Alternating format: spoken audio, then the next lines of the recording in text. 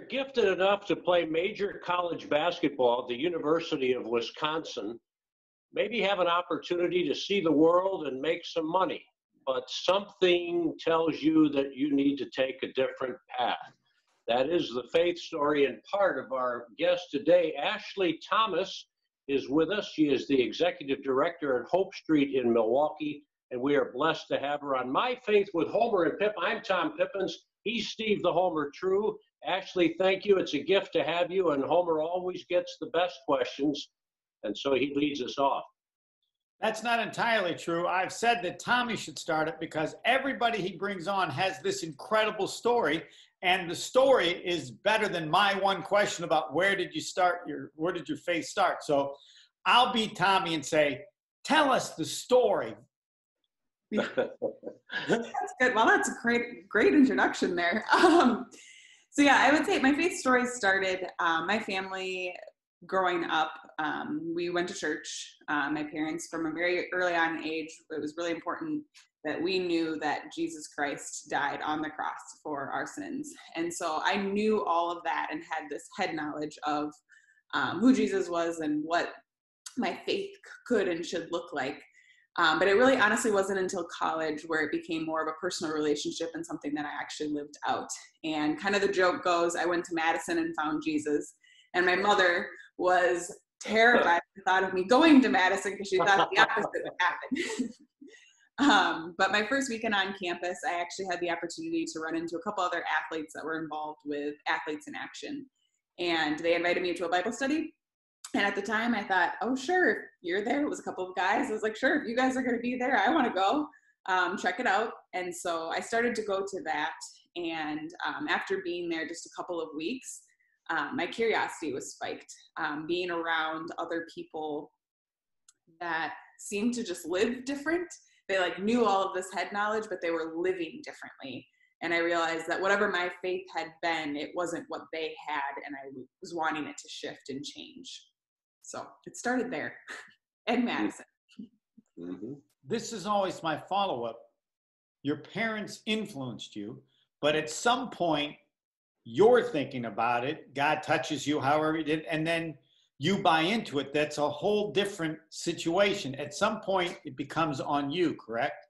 Correct. Yeah. Yeah. My parents laid the foundation, and I think if I wouldn't have had all of that, I probably wouldn't have been as curious as I was stepping onto the college campus. Um, but it, once it actually became my own, it became something that I could own and something that I then wanted to share with other people because I had personally experienced it when, if you remember a day or a time, and I bet you do, when you became all in? Yes, we had, um, so I was part of that Athletes in Action crew, and there was like a weekend retreat that we were going to kind of use to jumpstart the upcoming season. So this is the summer before my freshman year. And um, I remember sitting on a hill and they had given us some things to read. And so I'm reading through some scripture passages, and um, one just like really sunk in.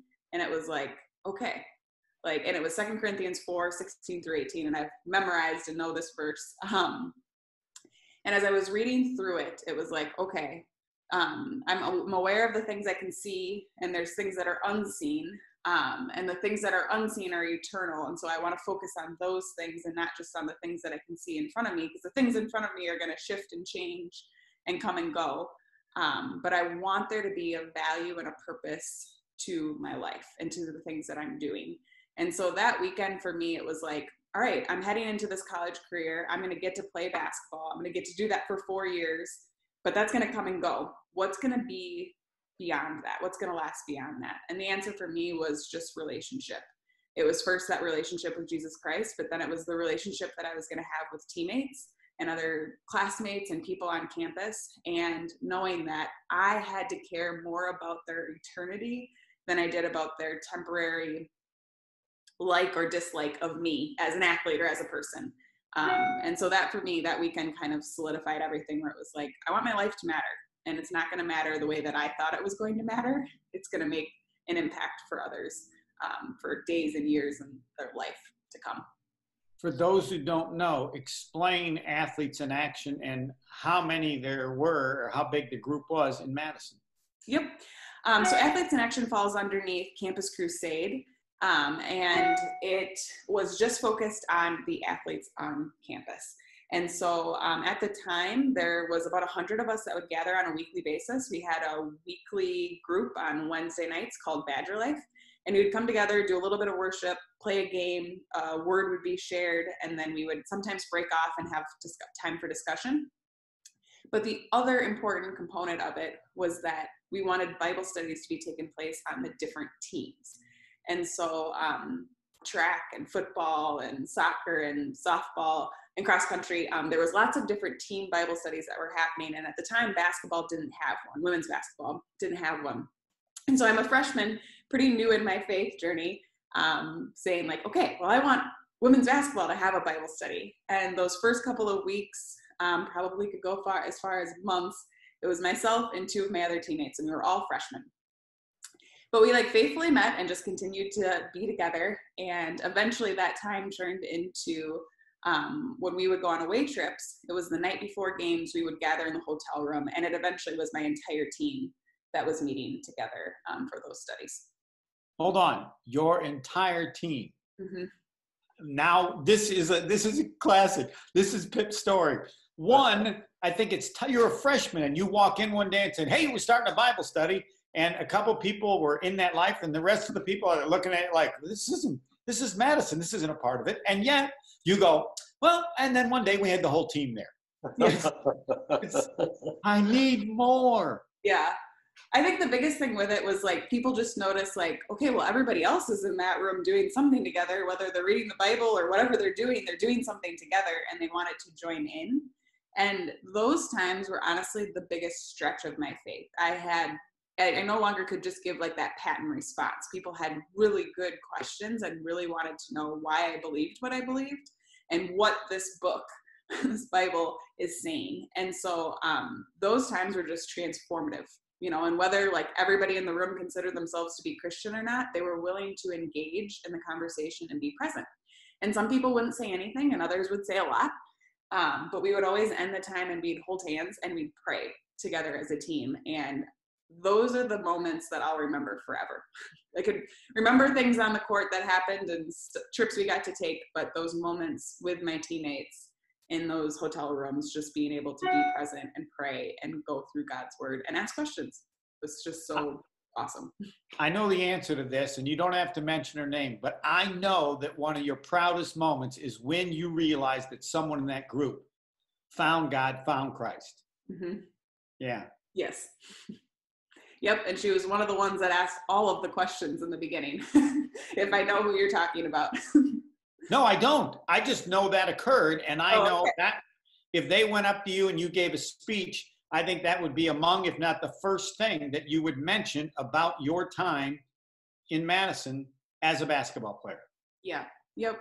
Yeah, people that came, you know, in the beginning that were just like, no, I don't believe that at all, but everyone else is here, so I'm going to be here. Or or in a certain lifestyle and we're just choosing to live one way and we're like well if i have to give up that in order to follow this no thank you and eventually coming back to a place of like no that's worth it and my i'm free. And this like a life with christ is freedom and so i can walk away from those things because those things don't give me joy they don't give me peace um yeah and they don't fulfill so what would you tell us that you learned not just about people's faith, but about your teammates. Mm-hmm. I don't know if it surprised you or just anything that jumps out that you would have never experienced had you not started and had this group. Everyone has a story. Um, I think we think we know where everybody's come from, or if you sit in a room and you have a bunch of Division One athletes, so you know, like on one hand, you're like, we've all worked really hard at our craft, right? We're all here for a reason. we didn't just get here. We've worked to get here. And yet everybody has a story that's led them to that point and has been through hardships or has been through some really neat experiences that has allowed their worldview to be shaped a specific way. And so the thing that I learned um, out of that is just always have a curiosity. Be willing to ask questions. Don't ascribe or assume you know where somebody's come from and why their viewpoints are what they are. Um, and I think we just become more human when we actually are able to ask those key questions and get to know people um, for who they are not who we think that they are because we all coming in, you know, to Madison, we all have a profile. We all have a bio that they've created and it looks really pretty and like well put together. And it's like, okay, that's who I am on the court, but who are you off the court? And I think those are the things that, um, you know, as spectators and as fans and everything that like we remember, it's important that we celebrate and know who athletes are off the court as much as we celebrate and know who they are on the court. Because after on the court is what is for that time period but off the court is what's going to last long after they've graduated and gone away i will defer to tommy in a second but i have one more going to back to when you started with athletes in action i just know you were probably there and, you, and there was somebody and you go man that person is so far above me their faith is i'm just getting started what you don't again have to mention the name was there a person or people that really amazed you or you were in awe of their relationship relative to yours? Oh yeah. Um, yeah. And I, I mean, I, I don't mind. I don't think they would mind saying names. There's two people that were my mentors and they're both Chris and Sarah Maragos and they're married now. And Chris Maragos is now won Super Bowls and is a really great athlete um, from Wisconsin. Um, those two for me lived out their faith in a way that like I was like, I don't know how I get there, but I want to continue to pursue that the rest of my life. And they're just authentic. They were genuine.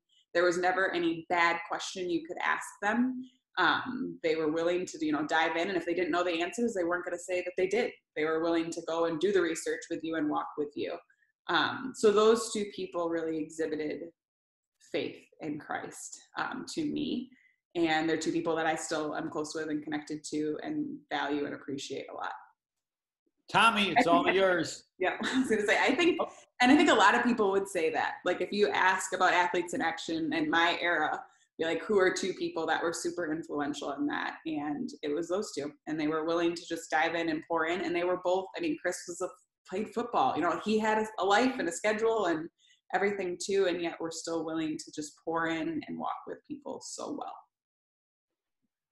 Ashley, was there that opportunity to go see the world, make some money, and was, how difficult was it to turn away from that and do what you do now? And I'm eager to get into that. Mm-hmm. Uh, let's start there. Okay. Yeah. Uh, when I was done, or you know, my senior year, like everybody was kind of asking the question, like, what's next? What are we going to do? Um, do you get an agent? Do you try to go overseas? Do you go to a couple of WNBA tryouts? Um, and I had both of those options on the table. Um, but I just had a really clear sense that God was asking me to put my shoes on the shelf and be done. Um, the thing I didn't have a very clear sense on is what he was asking me to do next. And so that was terrifying because I'm like, well, hey, I know how to do this really well. Um, but I knew I had a passion for ministry and just um, walking with people and being with people and obviously sharing Christ. And so I had a connection with a friend in Milwaukee who um, his chaplain was a pastor at church, and um, I got connected with him and basically was like, "Hey, basketball has been my job my entire life. I've never worked, um, so I have no experience outside of that." Um, I have education. I would say I graduated. Um, do I need to go to more school to be involved in ministry, or is there something I can do to kind of get my feet wet and just give this a try? And basically, an opportunity came for an internship and so I did an internship in local missions here in Milwaukee. And kind of the rest is history from there. One of the stops I made um, was Hope Street. And um, I started to volunteer there and eventually was asked to be on staff. Um, and I know without a doubt I'm where I'm supposed to be. and with your gift of leadership, you're the head honcho there as the executive director. Here's a quote that really caught my eye from you. Our neighborhood is one in whose reputation precedes it. We have addiction, poverty, crime, and abuse. All of it eventually feels like the norm if you stay long enough. Yet, on our corner, we fight against it all by inviting it in. We acknowledge we bring our own mess in with us, yet somehow together beauty is made from the ashes. The day I chose to walk into Hope Street was the day I realized I could never not return. Please take it from there, Ashley. Yeah, I think oftentimes we think about where crime or where addiction or where the mess and the brokenness is, and we do everything in our power to avoid it.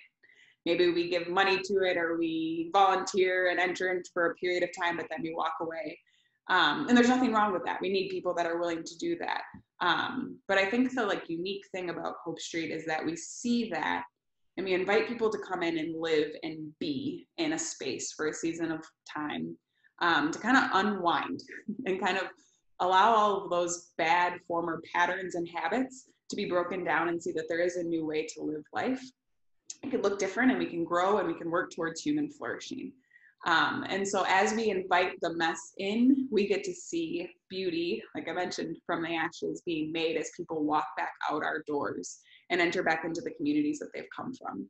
Um, and it's a process. It doesn't happen overnight and it doesn't always look beautiful. it doesn't always look the same.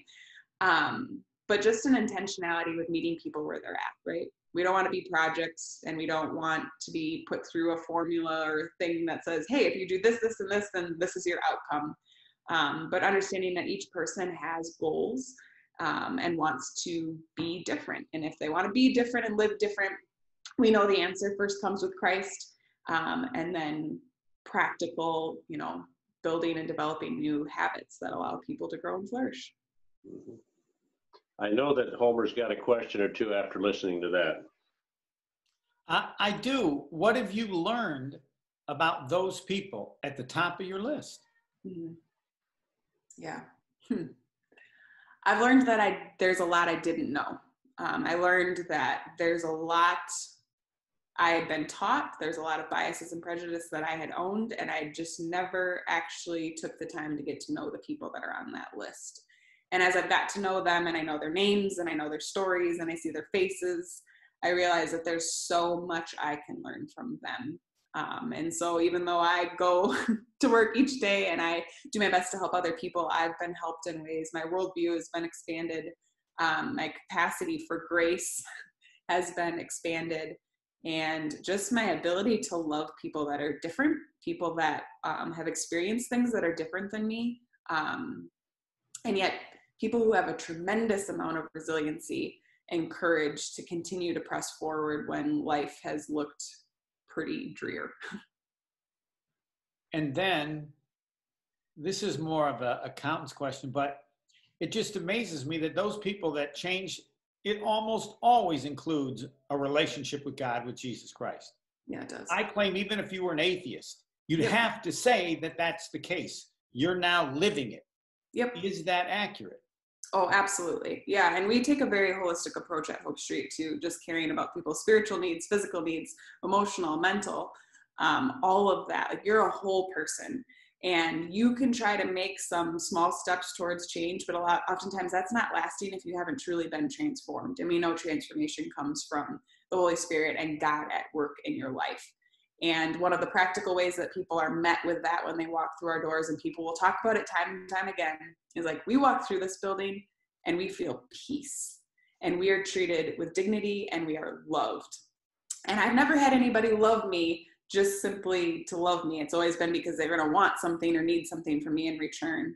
And the answer that we get to say is like, no, that's just Jesus. Like, that's his gift to you, period and nobody can take that away from you and nobody can taint that or thwart that or add to it or anything that's just what it is period and as soon as somebody is able to receive and accept that and they've experienced it um, life just automatically looks different in that moment but it can begin to take a new trajectory towards um, well-being uh, i'm going to ask this how old are you how long have you been there and I don't have your resume, but I know you have a long list of successful basketball achievements. Hmm. Where does this fit? Yeah, I am 30 years old. I've been at Hope Street um, almost seven years. It'll be seven years in December. Um, and where does this fit? That's a great question. I never would have guessed that this would have been part of my story. Um, but I think the it's a really good question, actually. I think my ambition for so long to be successful for myself, to reach goals and do things that I wanted to accomplish, has shifted to helping people realize um, that together we can do so much more, and that the ultimate success is that our communities look different, that our communities are whole, and that people see themselves aside from the things that they do that they see that their being was created by God and he's already he's already said what is true of us, and that's that we're loved, we're valued, we have great, tremendous worth. Um, and I think for most of my life, where I've worked so hard to gain value, to gain worth, to be seen, to succeed, um, taking that 180 and seeing like, oh my gosh, I can I can rest in who I am because I don't have to achieve to work towards getting to be who I thought I needed to be. Um, and so I think that's probably if I had to think, I'd probably had to think about it a little bit more. But I think that that would be my answer. That most of my life I was taught and fell into this loophole of I need to achieve and work to be somebody. And the work that I'm doing now and with the people that I get to be with every day, we just know we get to operate out of who we already are. God says who we are, and we now get to live out of that. And I think that there's so much freedom in that. Well, I do have one more, Tommy, and that is I love it. I just assume, uh, given your greatness, that your identity, you are Ashley the basketball player. You now have people, I'm sure, that have no idea that you ever played basketball, and they have a bond for you, and like that's greater than you maybe ever achieved in your identity as a basketball player. Yep. Yeah, absolutely. I think early on, being the basketball player got me in some doors and people wanted to be around me for that. And I think now, especially as members walk in and like they don't know who I am or what I've done in my past. And and I love that because like I get to know them and they get to know me. There's no preconceived notions. And so um, that's a gift.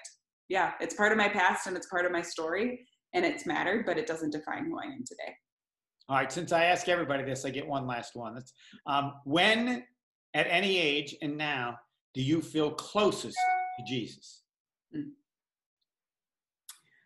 I feel closest to Jesus when I'm in that building, just sitting in a room listening to the laughter. I can hear the kids running through the halls. Um, I can hear the prayers of our members and the things that they're thankful for. And I'm just reminded that this is the kingdom of God.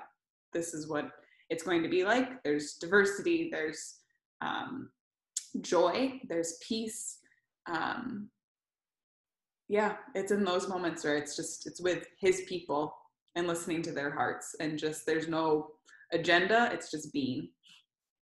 Actually, it's very evident that you are standing in the gap for the Lord, you and your team.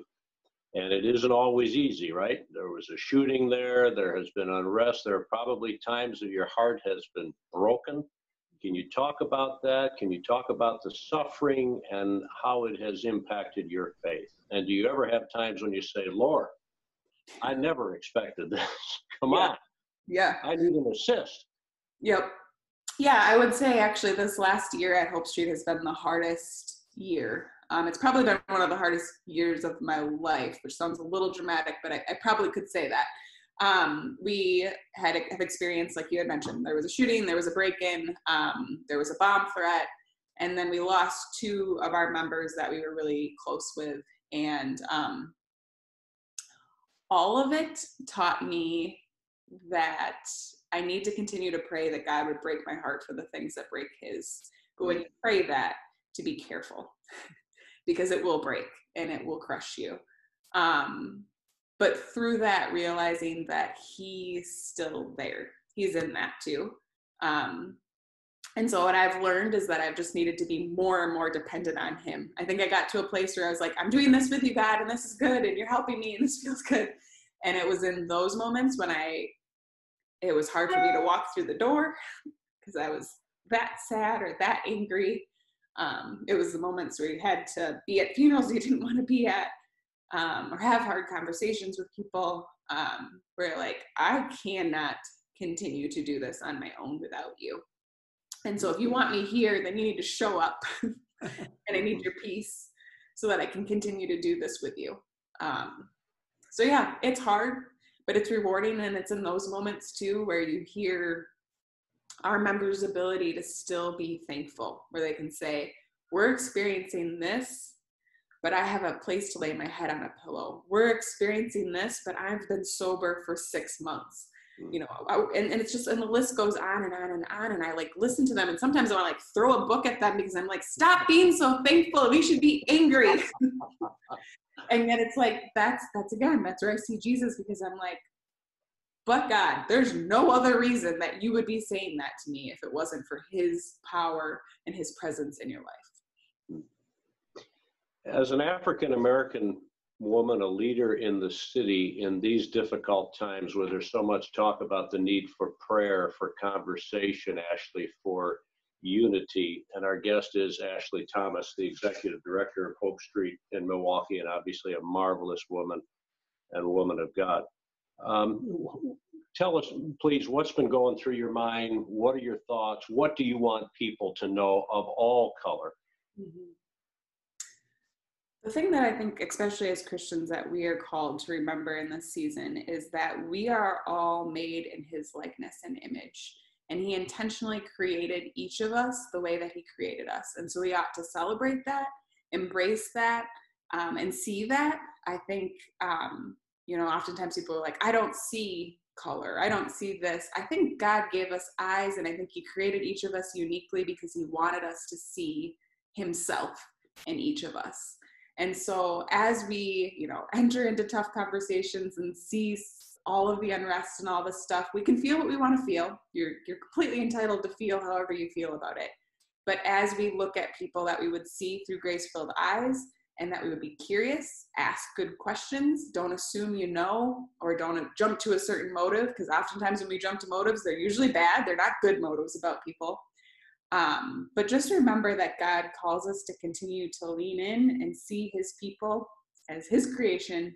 And he asks us and calls us and begs us to say, You are beloved, you have value, you have worth, and you have dignity that God has given. Not humans, because if we gave it, we'd take it back when we didn't feel like giving it to somebody. That's God given, that's a gift. And so um, it's complicated. We need a tremendous amount of grace um, and a tremendous amount of humility to just say like i don't think i have all the answers i have some thoughts and i want to share them but i also want to hear what you have to say too mm-hmm. thank you for that homer i know you have to go in just a few minutes anything uh, from you to sign off there's a phrase that Mother Teresa uses. She says, The greatest challenge of everyone is to see the face of Jesus in every person they run into. And I can't think of anyone we've had on in which you have said that time after time after time. She would be proud of you. Thank you. Is that how you look at it? Does that make any impact on what you try to do and how you try to do it? Yep. Because then we see people as human, right? The minute that we've said something or whatever it is at somebody, like they're no longer human and we can do anything to people we don't see as human, right? So we can cast them away, we can demonize them, we can whatever. Um, but if we see Jesus in people's faces and through their stories and their names, my hope is that we would lean into that and we'd be curious and we'd want to be with them because that's what Jesus would do. Ashley, do you see yourself staying at Hope Street? Um, because I know you're, you've, you've been going for an advanced degree, right? Theological studies. Could you update us there? Do you see yourself at Hope Street? And how might people get involved in Hope Street? We want to make sure we get that with our awesome producer, Brett Young. He can put something on the screen. Okay. Um, yeah, so I actually gradu- I graduate. wow. It won't happen until August because everything got pushed back because of COVID, but I am done with my degree. So I have a master's in theology studies. Thank you. Um, as far as involvement at Hope Street, um, there's a couple of ways, and one very practical, and you can do it from wherever you are, and it sounds cliche, but we covet prayers. Um, as you had m- mentioned, um, there's hard things that come up, but we know that our building continues to be a safe space and a place where transformation is happening because of the prayers of faithful people. And so um, we do send out a weekly prayer update. Um, we do post things on our website. So you can always tune in and um, look at those and see ways specifically that you can pray. But otherwise, however the Lord leads you, we would greatly appreciate that. Um, outside of that, we're all about relationship at Hope Street. And so there's different opportunities to teach classes, come have coffee, bring donuts, eat food, um, just come and be with people. Um, and that's the greatest gift you, for yourself. Trust me, it'll transform you, it'll change your life, as well as just the people that live at Hope Street. So, those are two quick ways. Um, and again, you can look at our website. Um, there's a bunch of different volunteer opportunities on there as well. And what is that website again, please? Yep. Um, so it's hopestreetministry.org, and that ministry is singular. So hopestreetministry.org. So I'm not going to let this go. Are you going to, you see yourself there in five years, 10 years? Is it a day, a moment at a time with the Lord? Because I, I think Homer would, would agree here and Brett as well. You could do anything. I think my answer to that right now is that the lesson I've learned over the last seven years is to be obedient. And right now, he has asked me to be there. And so that's what I will continue to do until he tells me to go somewhere else. And so I try not to get too far out ahead of myself. I try to just stick in the moment and receive the grace I need for today. I just love how I can learn. Just try to do his will, not mine. Thank you for that, Ashley. Homer, anything else from you, buddy? No, Tommy, you continue to amaze me, person after person, with an amazing story. Well, it's it's the Holy Spirit, but Ashley Thomas, you are all we expected and then some. It's been a joy to have you. Thank you for sharing your faith story on my faith with Homer and Pip. And uh, we will continue to pray and, and step it up for you and, and everyone there at Hope Street. Thanks for all you do on behalf of Brent Yunk, Thanks for tuning in, everybody. And if you have any ideas for another faith story, pippenstom at yahoo.com, P I P I N E S, pippenstom at yahoo.com. Thank you, and God bless you. Thanks.